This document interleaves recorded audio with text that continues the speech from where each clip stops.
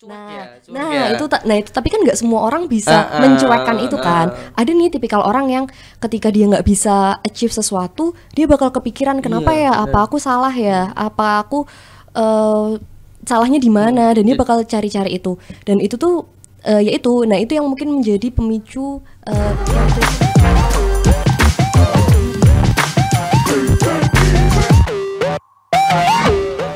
apa kabar sahabat PMI Solo? Jumpa lagi dengan kita di Japri Jagongan Penting bareng PMI. Jadi eh, untuk mengenai isu-isu yang berada di eh, sekitar kita sekarang yaitu mental illness. Dan mental illness. Saya juga sebenarnya gampang gampang terluka. Nah, ada dua narasumber dari Fakultas Kedokteran UNS yaitu Dokter Safira dan Dokter Siska. Tuh. Tepuk tangan. Jadi aslinya nggak ada tepuk tangan sih, tapi segini aja. Tepuk tangan untuk sendiri. kita sendiri. Gimana dok? Ini yang mental expert ya kayaknya. Hmm, Nggak juga ya. Ini lebih ke mungkin survivor ya. Oh, survivor. Jadi uh, expertnya kita telah melewati, sering melewati itu, jadi kita expert gitu loh dok. Enggak Oh, juga. pengalamannya, Oh, pengalamannya. experience-nya ya. Iya, jadi kan eh, untuk generasi ini kan banyak kan, apalagi yang saya kalau lihat di IG atau di sosmed itu jaksel-jaksel, wah Hmm. Which is sebenarnya sama ya. Mentil, mentil ya katanya. Apa? Mental, mental illness ya, iya benar ya. Oke, jadi eh kenapa dok? Apa yang dimaksud kesehatan mental dan kenapa kok ini menjadi penting itu gimana? Hmm. pernah pernah wah ini penting ini untuk mentalku ini gitu jadi mentalnya udah dikenteng jadi baja Hmm. gitu ya mungkin ya mungkin Ya. sekarang masih Mungkin. jadi bola bekel ya. Iya, mungkin belum ya, belum sampai jadi baja ya. Mantul ya kak kalau itu. oh ya gimana dok Mungkin mau dari siapa dulu? bebas Dari- atau aku dulu Oh, Enggak iya, ya? boleh. boleh, Mas. Iya, boleh. Mungkin dari aku dulu ya. Hmm, kita lebih ke pertama dulu by definition kali ya. Kesehatan mental gitu. Mm-mm. Eh, sebenarnya kesehatan mental ini tuh eh apa ya? Dia itu suatu kondisi di mana mentalnya itu sehat dan sejahtera. Kita balik lagi ke definisi situ karena kenapa? Eh, intinya kapan sih seseorang dibilang gitu ya mungkin dia mengalami masalah dengan mentalnya itu ketika eh ya itu mentalnya nggak sehat dan bahagia di mana dia nggak bisa carry out daily activitiesnya gitu misalkan yang tadinya dia bisa eh, sehari dia ngerjain kerjaan dari A sampai Z gitu ya bisa jaga 24 jam habis itu jaga lagi gitu misalkan. Terus nanti eh, ketika dia tiba-tiba jadi nggak bisa. Terus misalkan dia makan sehari tiga kali tiba-tiba jadi sehari sekali kayak gitu.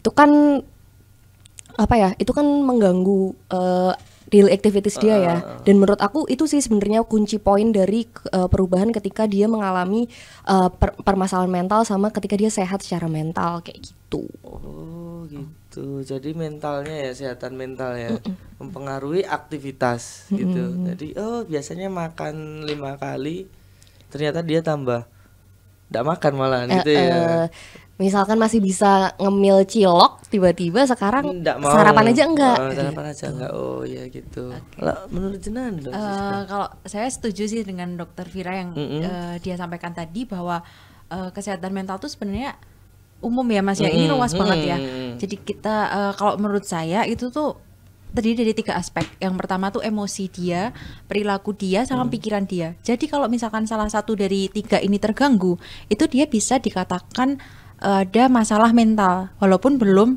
jadi gangguan mental karena kalau misalkan gangguan berarti udah berpengaruh ke kehidupan sehari-harinya ya. dia Mm. jadi kalau misalkan ngomongin tentang eh, gangguan mental, gang- eh, terus masalah mental itu tuh nggak dilihat dari angka kesakitan sama kematian. Misalkan kalau kita ngomongin eh, kanker atau ngomongin apa itu kan kita bisa lihat dari angka kematiannya iya, ini. eh. Kalau misalkan gangguan mental itu enggak mas, jadi eh, kita tuh melihatnya dari kualitas hidupnya. Apakah dia mempengaruhi eh, kualitas hidupnya? Misalkan Mm. konsentrasinya berkurang, terus jadi susah fokus, susah tidur, nggak mau makan, gitu-gitu. Jadi eh, itu jadi hal yang sangat penting nih. Oh, jadi ka- kalau ada tanda gejala kayak gitu eh, bisa dilihat ya, maksudnya bisa diterawang. Oh, dia kok perubahan perilaku itu mungkin dia kena gitu ya. mungkin gitu. bisa jadi dicari penyebabnya sih mungkin Oh. ada mungkin eh, ya itu dicari triggernya ada nggak sih Hmm, hmm. Jadi lebih pendekatan psiko sosial gitu Iya. ya. Terus, terus ternyata mas eh, dari WHO itu saya baca-baca itu tuh ternyata satu dari empat orang itu ada eh, masalah mental, baik itu gejalanya ringan sampai berat maupun kadang tuh dia bahkan nggak sadar gitu loh. Aku kok aku ternyata kayak gini tuh dia nggak Oh, sadar. nggak sadar ya? Iya nggak sadar. Jadi pentingnya menanamkan eh, apa ya pikiran tentang kesehatan mental itu penting banget buat sekarang. Berarti emang gampang keserang ya kita. Iya. Rem lemah Trigger kali dikit. ya. Aku nggak mood, aku aku nggak mood, eh. aku capek banget sekarang. Apa sih gitu. gitu. Terus kalau eh, kesehatan mentalnya itu untuk remaja dan dewasa itu beda dok. Hmm. Beda ya kayak puber gitu berarti beda ya. Termasuk kesehatan mental nggak itu pubertas itu? Eh, menurut aku beda ya. Oh, Karena da- dari yang aku enggak sih, dari ke- di- dari segi kedokteran sendiri tuh pun eh, kita ada yang namanya life stage gitu. Kalau nggak salah ada 8 life stage. Dari mulai lahir, terus nanti balita, terus dia nanti mulai sekolah, terus dia mulai ru- apa namanya kehidupan rumah tangga dan menjadi elderly itu tuh ada stage-nya kayak gitu. Dan di setiap stage itu tuh ada tantangan yang harus mereka Lalui, ya. betul. Tantangan yang harus mereka laluin eh, juga ada apa ya eh, achievementnya dan ada masalah-masalahnya sendiri dari setiap stage itu kayak gitu. Dan tentunya beda antara remaja sama dewasa gitu. Em, yang dihadapin pun kan beda gitu. Kalau misalkan mungkin di remaja yang dihadapin misalkan kayak masalah percintaan, masalah hubungan sama orang tuanya susah izin kalau mau main, itu kan bisa jadi masalah loh. Iya, benar, Iya kan? benar. Terus habis itu misalkan masalah tentang pendidikannya, dia mungkin temennya terlalu kompetitif atau apa itu kayak gitu. Dan mungkin bedanya sama orang dewasa, kalau misalkan orang yang sudah dewasa, mereka kan udah melalui stage itu ya gitu. Dan mungkin sekarang mereka lebih fokus ke masalah eh bagaimana bisa survive, misalkan kayak survive di pekerjaannya atau survive di eh, lingkungan dan lain sebagainya gitu. Menurut aku.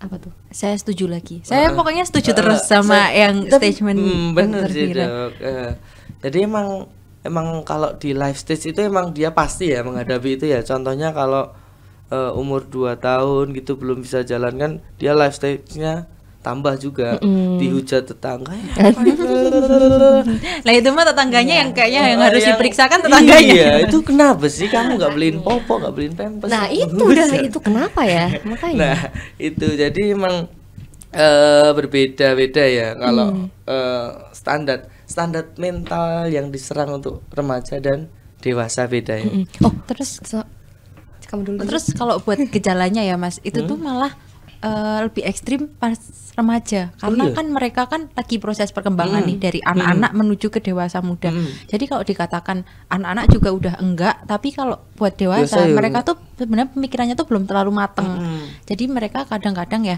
eh, melakukan sesuatu yang aku pengennya gini, Hmm. tapi nanti ketika ekspektasinya tidak sesuai dengan yang dia harapkan, Hmm. itu nanti bisa berdampak juga bagi mentalnya mereka.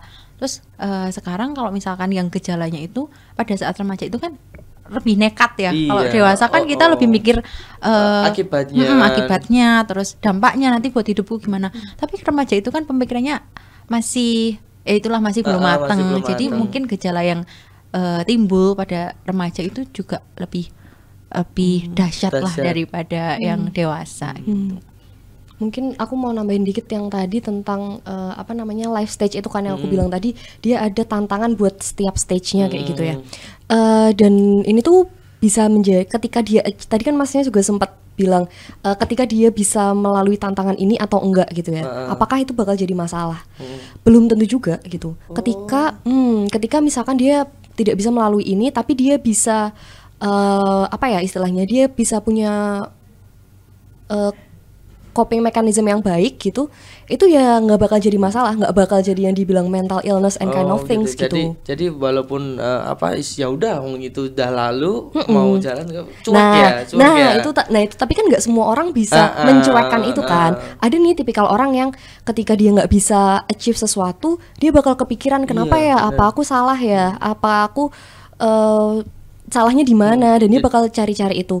Dan itu tuh eh, ya itu nah itu yang mungkin menjadi pemicu eh, yang dan membedakan ketika dia nggak bisa achieve sesuatu dia bakal bisa kena yang dibilang mental illness sama Oh, enggak iya. gitu.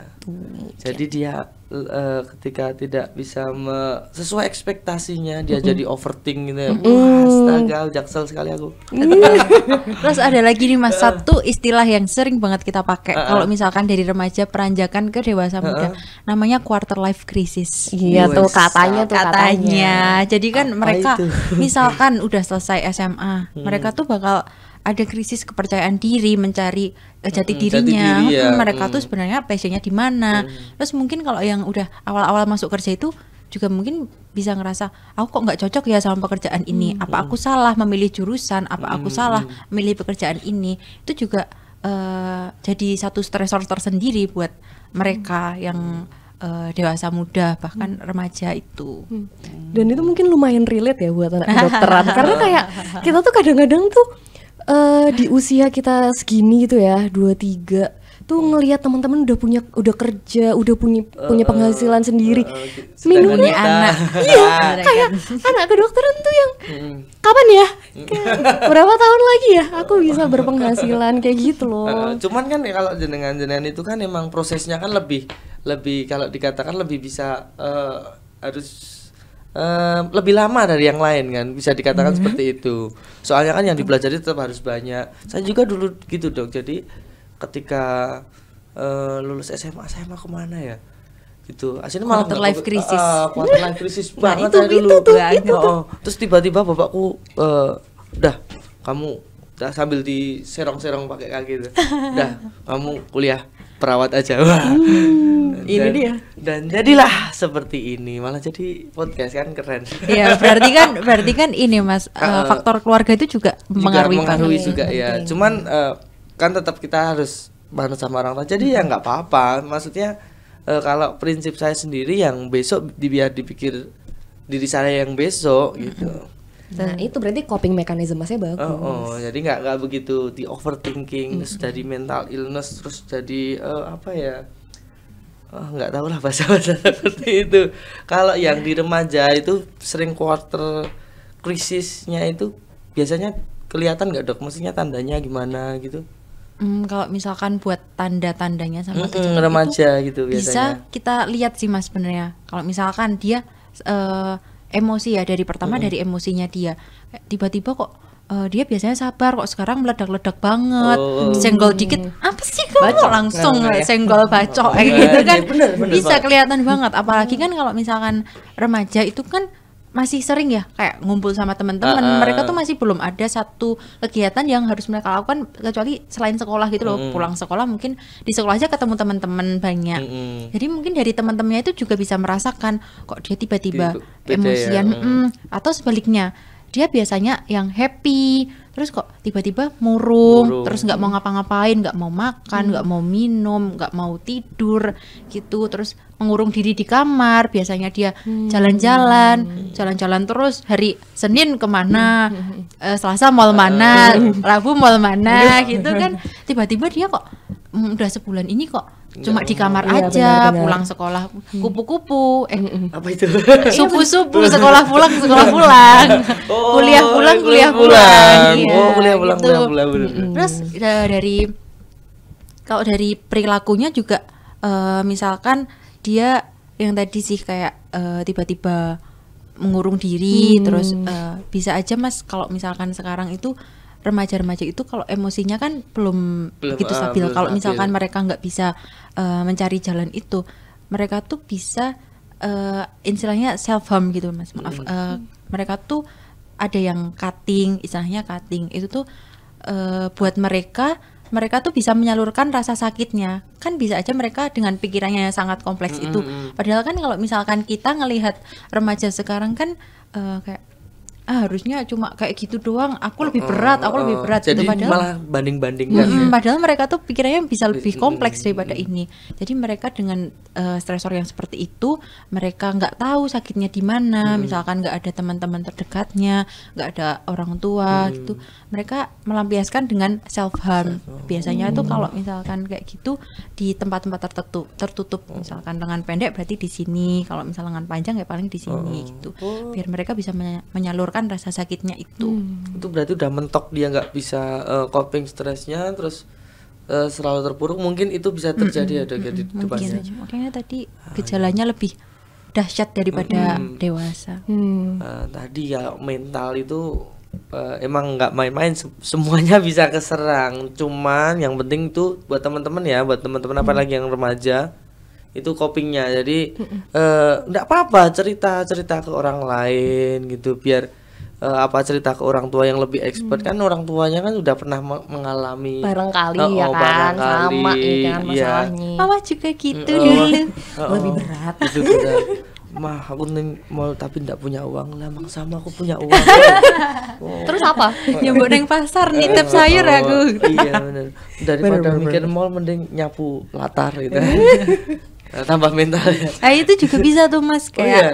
Bisa mengubah menjadi sesuatu yang positif. oh iya Misalkan dia aku insecure nih sama temenku yang ke mall terus bisa shopping ini itu. Terus dia bisa mengubah jadi hal positif misalkan dia bisa nabung Oh, dia iya. bisa eh, melakukan hal-hal yang misalkan dia kalau suka nulis ya udah dia nulis. Kalau suka ngelukis dia ngelukis. Itu kan bisa bermanfaat bagi kehidupan Coping dia bagus ya. Apalagi kalau stres gitu aduh aku nggak bisa sambat. Kan ada sambat bisa sambat ke yang kuasa. Aduh. tas Betul. Betul banget. betul. Kuasa siapa tahu nanti bonusnya jodoh. Iya, udah dipermasalahkan udah. Masalahmu serahkan pada yang di atas. Kita cuma berikhtiar. Astaga. astaga. Keren banget aku. Enggak sih. Terus eh, kalau pola diet gitu eh, bisa dok diet olahraga. Jadi ke- ketika eh contoh contoh nih ya, saya diet, saya diet terus nggak makan gitu, emosian itu ya bisa tetap bisa ya. Termasuk ke stres atau Nah, ini tuh yang eh, uniknya yang ini salah satu juga yang aku aku pernah baca nih yang membedakan antara ketika eh, men, apa kesehatan mental di remaja dan di dewasa gitu. Kalau misalkan di remaja itu tuh mereka tuh suka nggak sadar kalau ternyata efeknya sebesar itu gitu loh mas. Ah, ah, ah, Mungkin kalau misalkan ketika seseorang eh, orang dewasa kena stresor gitu ya, mereka tuh udah bisa nih eh, kontrol masalah diet, eh, masalah aktif apa kesehariannya tuh mereka udah bisa kontrol gitu. Cuman mungkin kalau misalkan di remaja ini tuh mereka belum bisa mengontrol itu. Jatuhnya ya itu mereka bisa lupa makan, eh, terus habis itu sulit tidur gitu. Eh, tapi kita juga tidak bisa menyalahkan dia atas susah makan dan sulit tidurnya itu ya, karena kan itu juga bagian dari perjalanan dia buat bisa menerima masalah yang dia alamin ya. gitu. Mm. Dan dan ini tuh salah satu jadi metode nih, metode yang mungkin bisa diterapin sama eh, teman-teman sekalian gitu ya, mungkin yang Uh-uh. mengal- yang merasa sepertinya kok kayaknya eh, mental aku sedang tidak stabil gitu ya dan paling gampang dan ini kan nggak perlu professional help gitu loh kayak misalkan eh, sleep hygiene gitu cara cara memulai tidurnya yang diperbaikin gitu misalkan eh, sejam sebelum eh, misalkan dia biasanya tidur jam 10 gitu. Dia jam 9 ini udah harus di kasur nih. Udah harus di kasur dan dalam setting kamar yang udah oke buat dia tidur. Dengan lampunya mati, dengan suhu yang pas, terus mungkin pakai selimut, mungkin kalau misalkan dia bisa pakai apa namanya bisa minum susu sebelum tidur bisa minum susu sebelum tidur kayak gitu. Itu tuh kan itu kan istilahnya apa ya? Itu salah satu treatment yang nggak disadarin gitu. Tapi sebenarnya itu bantu banget buat em, yaitu remaja-remaja yang mengalami unstable mental. Oh jadi di di list gitu ya, ya. jadi kayak di jadwal, anu harus eh, jam ini harus, maksudnya kita harus dipaksa berkegiatan ya, Iya betul. agar mengalihkan itu juga. Terus eh, apakah curhat gitu, curhat-curhat gitu bisa menenangkan masalah-masalah mental health pada remaja-remaja sekarang ini?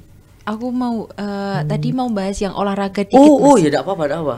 Tadi kan oh sama yang diet tadi kan. Oh, diet, olahraga. Diet itu kalau misalkan anak-anak muda zaman sekarang kan lebih ke ini ya, kayak yang penting aku nggak makan. Mm-mm. Yang penting aku nggak makan itu bisa jadi stres. Tapi ternyata ada satu diet nih Mas yang dia tuh terbukti untuk menurunkan depresi. Benar-benar.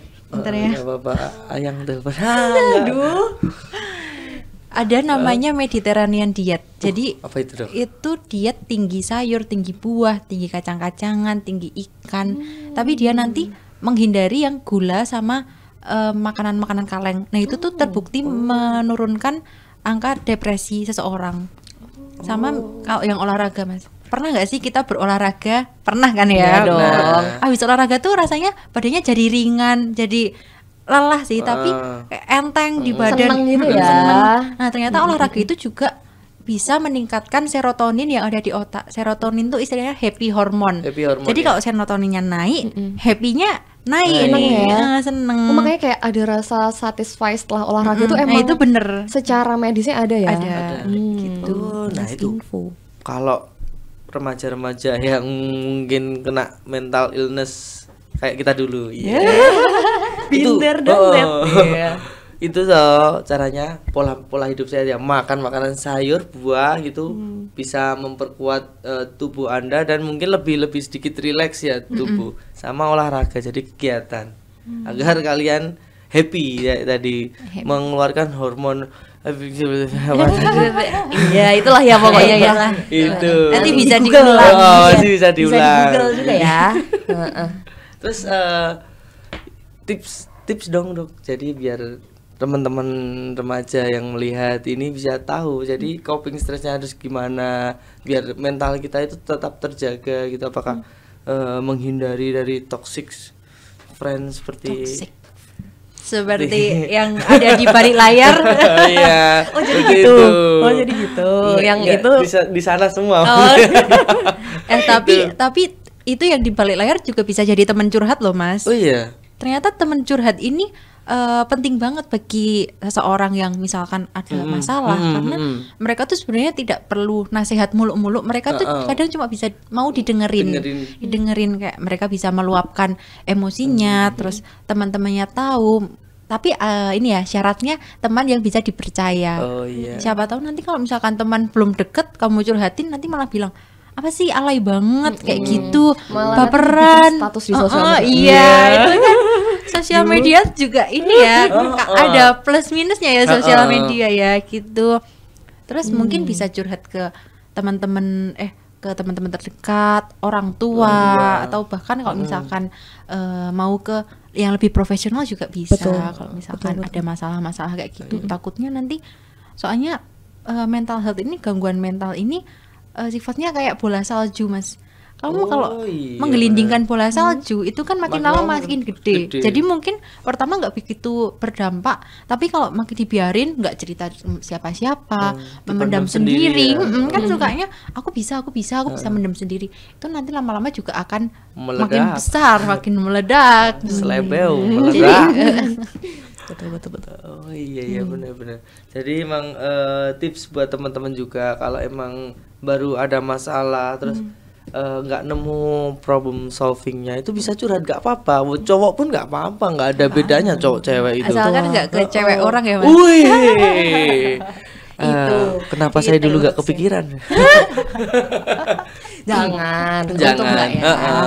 Itu cuman enak di awal nanti di akhir malah jadi problem. makin enak juga. makin enak oh salah salah iya jadi problem baru. Nah Jadi itu bonusnya nggak tahu bonus dapet cowoknya Dapet- atau nah, dapet masalahnya dapet nih. masalahnya dua kan gitu jadi emang eh, perlu perlu banget kalau nggak nggak diburu-buru di apa namanya eh, curhatkan Hmm. atau diomongkan gitu takutnya tadi dia tambah lagi tambah lagi terus meledak Hmm. selebel tadi dan teman-teman teman-teman kalau ada teman-teman kalau ada temennya loh ya Mm-mm. tahu teman-teman kalau ada temennya yang eh, kelihatan kok dia Hmm. eh, berbeda ya dia kok auranya berbeda gitu. Nggak apa-apa deketin berarti kalau kamu temennya lo ya. Kalau kata kamu Empatinya temennya, ya, oh, Mas, empatinya dipakai empatinya. men.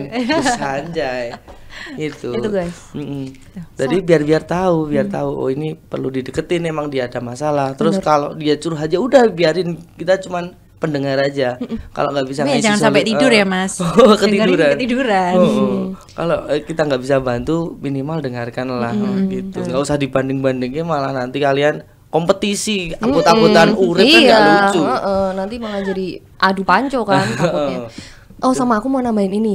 Em, dan mungkin tergantung ya mas. Eh, kan eh, tah apa ya istilahnya stresor seseorang tuh beda-beda gitu. Ketika pun mungkin teman-teman yang merasa setelah bercerita sama orang lain belum mengalami perbaikan juga tetap masih deg-degannya ada, mungkin masih keringet dingin, masih panik, terus masih kayak ada rasa nggak enak itu tuh nggak apa-apa banget gitu loh buat ke dokter. Karena eh, tahapan-tahapan penerimaan masalah tuh beda-beda gitu. Ada yang anger ada yang denial ada yang bi- kalau misalkan nih s- lagi di puncak-puncaknya yang dia masih eh, bener-bener deg-degan banget itu tuh dia mau dikasih tahu dari kanan kiri juga nggak bakal ada yang bakal masuk. oh, nggak masuk. Mm-mm, menurut aku di sana peran temennya ini tuh hanya sebagai nemenin, dia aja dan make sure temennya nggak kenapa-napa. Udah gitu doang gitu. Cuman kalau untuk eh, temennya ini bu bisa ngasih tahu bisa ngasih advice tuh menurut aku belum bisa sih. Belum ketika bisa di ya? ta- di tahapan itu ya mungkin ketika dia udah lebih deal dengan dirinya sendiri dia udah lebih bisa menerima dan udah nggak anger atau denial mungkin bisa lah dikit-dikit temannya baru kasih masukan gitu. Pun kalau misalkan ke dokter tuh juga dokter nggak yang langsung eh, ngekat kayak kamu harus Eh, eh, nggak langsung Eh, dikasih eh, gini kamu- gini gini eh, eh, merubah gitu nggak bisa ya Mm-mm. Pertama tuh tetap bakal nanti didengerin dulu, dicari eh, sumber problem utamanya apa, Eh, ada nggak yang bisa diperbaiki dengan obat atau misalkan dengan eh, sesi konseling kayak gitu, gitu sih menurut aku. Jadi kayak nggak apa-apa banget cari professional help. Mm-mm. Setuju banget. setuju banget sih. Trigger pointnya itu kita eh, hindari gitu loh mas. Misalkan sekarang ya, misal trigger pointnya eh, aku kalau misalkan lihat sosmed, aku insecure, aku overthinking, aku stres parah, itu bisa kita cut. Tapi eh, kadang-kadang kalau di cut juga kan banyak kan remaja ini mikir eh, kalau pas lihat kalau dia cut ya nggak nggak lihat HP sama sekali, nanti dia juga bahkan bisa overthinking apa ya yang teman-temanku lakuin? Aku pengen lihat nih story teman-temanku. Kayak istilahnya sekarang FOMO. Pengen tahu kayak aku takut ketinggalan berita aku takut ketinggalan berita. Jadi eh, bijak-bijak eh, inilah menggunakan sosial media menggunakan eh, ya itulah media komunikasi yang lain gitu. Dipergunakan aja biar tetap dapat positifnya dari hal-hal kayak gitu. Terus eh, ini jaga pola makan olahraga tidur yang cukup yang tadi udah dokter Vira sampaikan itu juga membantu banget sih buat kesehatan mental itu sendiri Nah, sama ini sih yang paling penting ya itu jauhin jauhin triggernya. Itu tuh penting banget sih menurut aku. Emang pasti bakal susah banget dan bakal eh, apa ya kayak balik lagi, balik Hmm, balik lagi lagi gitu. ya. Eh, kayak pengen cari tahu. Tapi emang eh, ya ketika ketika itu nggak diputus tetap bakal ada triggernya dan itu nanti bakal tetap muncul lagi. Itu sih yang paling penting menurut aku first stepnya jauhin triggernya dulu gitu. Baru nanti setelah itu eh, coba. Dan ini jangan kayak jangan ditolak eh, rasa sedihnya gitu. Misalkan emang ada lagi ada masalah ya udah diterima aja rasa sedihnya gitu. Jangan yang kayak enggak kok aku nggak apa-apa. Karena itu nanti bakal bikin sequel di belakangnya. Kencana. kalau kata Kencana, bukan. Ya, nggak tahu itu apa gitu. itu tadi. Nah itu tuh jangan ditolak gitu. Oh, karena nanti diterima ya. Nanti pasti bakal deep down tuh kita masih ngerasa nyimpen rasa sedih itu gitu loh. Jangan sampai nanti di- eh, nggak apa-apa nggak apa-apa terus pas pergi mojok sendiri nangis. iya. Gitu. itu jadi emang penting ya kalau eh, teman-teman eh, pas ada di proses anger sama denial tuh marah sama penolakan itu memang eh, butuh butuh ekstra eh, apa namanya advice-nya ya untuk jenjang-jenjangnya. Jadi kalau anu ya butuh perlu konsul ke dokter gitu nggak apa-apa konsul aja. Yang penting yang penting kan udah maksudnya selesai di situ. Ada advice-nya juga. Terus untuk pola kehidupan tadi dijaga juga. Soalnya bener sih dok eh, untuk mental anak-anak sekarang sih. Dan eh, daripada kita mau sibuk-sibuk apa namanya scroll media sosial teman kita ngapain ya? Ya usah ya gak usah ngurusin hidup orang juga. Benar jadi eh, boleh boleh buat perbandingan tapi eh, kita harus punya motivasi wah dia sudah bisa gini nih aku gimana ya caranya ya? Gitu. Nah langsung ke aksinya jangan cuma mikir Jangan juga cuma ya. insecure Oh, doang ya, Mas, ya. aduh temanku udah punya anak 8 gitu lah langsung aksi langsung beraksi. salah salah. itu kucing. Nanti dok gitu. Mungkin mau ada tambahan lagi dokter Safira dan Dr. Siska? Eh, mungkin closing statement Oh ya. iya, buat, closing nah ini nih demen nih. Nih, Ini nih, ini yang kita tunggu-tunggu nih. buat remaja-remaja sekarang, ini kalau misalkan ada masalah, udahlah gas aja, sikat Ya, aja. oh. Eh, kalau mau curhat ke temannya curhat. Kalau misalkan eh, jangan sampai dipendam sendiri. Terus eh, olahraga yang rutin. eh, mencari hal-hal positif yang bisa dilakukan selagi masih bisa ya Mas ya. Iya. Siapa tahu eh, di masa depannya itu sangat bermanfaat bagi hidupnya mereka gitu. Terus tetap semangat menjalani hari-hari dengan bahagia senyum. Ini dari Dokter Vira. Kalau dari aku mungkin lebih ke itu sih. Kalau misalkan sumber masalahnya dari orang, di cut off aja orangnya nggak masalah. Oh, enggak masalah. Satu doang, ya? satu doang. Masih ada 100 miliar. masih cari, bisa lah, cari lagi. Iya bener. Kalau temu kayak gitu langsung beli aluminium foil, reseki diputer, dah tinggal Dilarung, dilarung. dilarung kawan Solo. Yang penting gak sama fotonya aja. gitu. Oke, terima kasih atas penjelasannya tentang mental itu. Jadi kita sudah banyak banget ad- ada coping stress juga dari dokter eh, Safira dan dokter Siska. Oke, terima kasih untuk sobat PMI yang masih stay di TikTok juga. Kita bertiga pamit undur diri. Wassalamualaikum warahmatullahi wabarakatuh. Dadah, salam sehat.